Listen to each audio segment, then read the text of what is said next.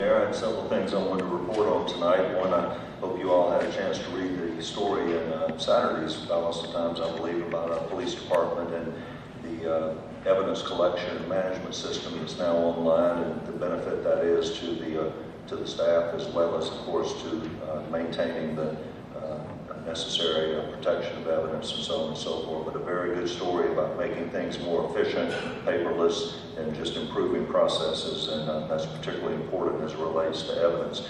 And I have a few more things. I'm actually going to call Chief uh, Childress up to ask him to report on another matter to you.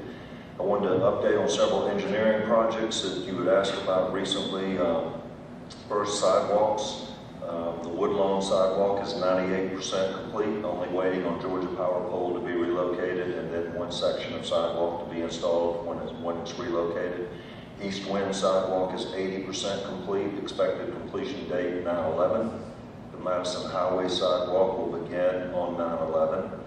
Uh, The North Lee Street sidewalk will begin surveying and construction staking on 9/6, installing storm pipe on 9/11, and the sidewalk will be installed the week of 9/23.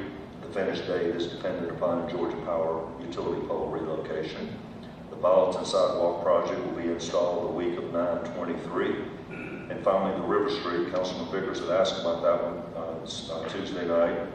And that project has also previously been approved in a bid, a bid that will begin surveying and construction staking the week of 9/16, installing storm pipe the week of 9/23, curb and gutter the week of 10/7, and the sidewalk to be installed the week of 10/14. We deliberately put that one last only because of the Hill Avenue overpass project, because so many vehicles are using River as an alternate. It, it runs parallel to that, and we were just trying to manage traffic the best way we can. So that's why that particular sidewalk was, was in the last one uh, to be done.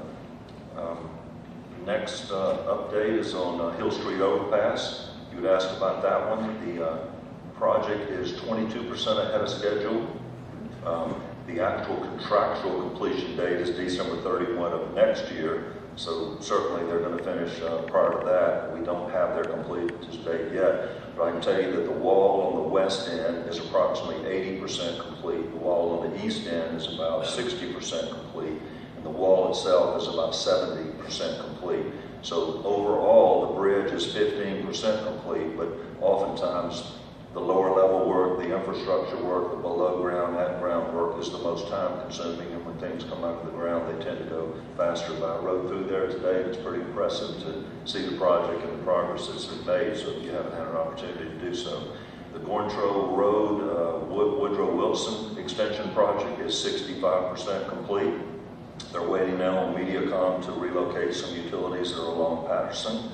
Uh, Once those are done, uh, they will demo the existing signal and uh, span the new poles in preparation for the new storm drain box and pipe. So we've got to put a new pipe once those lines, new storm drainage system, once tho- those lines are relocated. And they're waiting on final approval from Georgia Department of Transportation to allow free movement through Patterson while the existing signal is being demolished because the new signal won't be activated until that's done. So this is coming along fine, making a lot of progress. William Street sidewalk project is five percent complete, so they're just really getting started. They're working on curbs right now.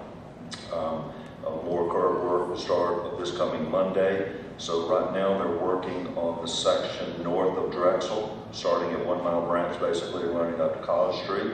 So they're going to be doing it in sections to just minimize disruption in a, in a neighborhood. And then they'll follow that with a section from College to Alden, and then the, the section of Alden to Park.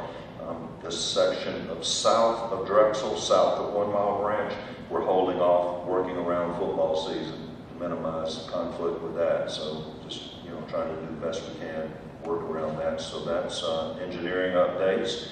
Um, I know the mayor, and Councilman Vickers, and perhaps others went to the ribbon cutting today on York Street.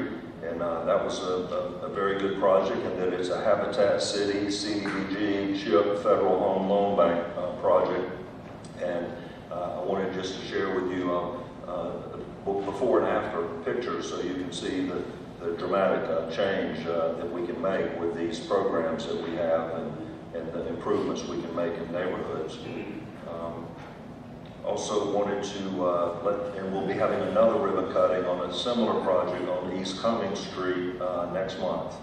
Um, Also, uh, went out today and looked at the temporary are underway at the Withlacoochee wastewater treatment plant. We have seven projects underway, uh, about $2.5 million being spent, and, and, and one of them is now at about 100%, one's at about 75%, and the others are underway. So there's a lot of activity there, and with a little uh, help from Mother Nature and the weather, uh, we can get those things done in the next couple of months, and that should, that will actually give the plant an additional 2 million gallons of capacity and uh, help ensure that we can maintain permit compliance. And that's really the issue we're having at the plant, not raw sewage bills, but just compliance with the permit. So uh, that is uh, full speed underway. And um, final thing I have, and I'll say this, we will need to have an executive session tonight on real estate litigation and a personnel issue I just want to inform you of. But I'm asked Chief Childress to come up tonight because I just wanted to share with him and let him share with you some of the, the good work of our police department solving another uh, murder case and, and, and make the connection there, uh, you know, between the quality people we have and training and, and the SPLOST and its funding of a crime lab. So Chief, I'm going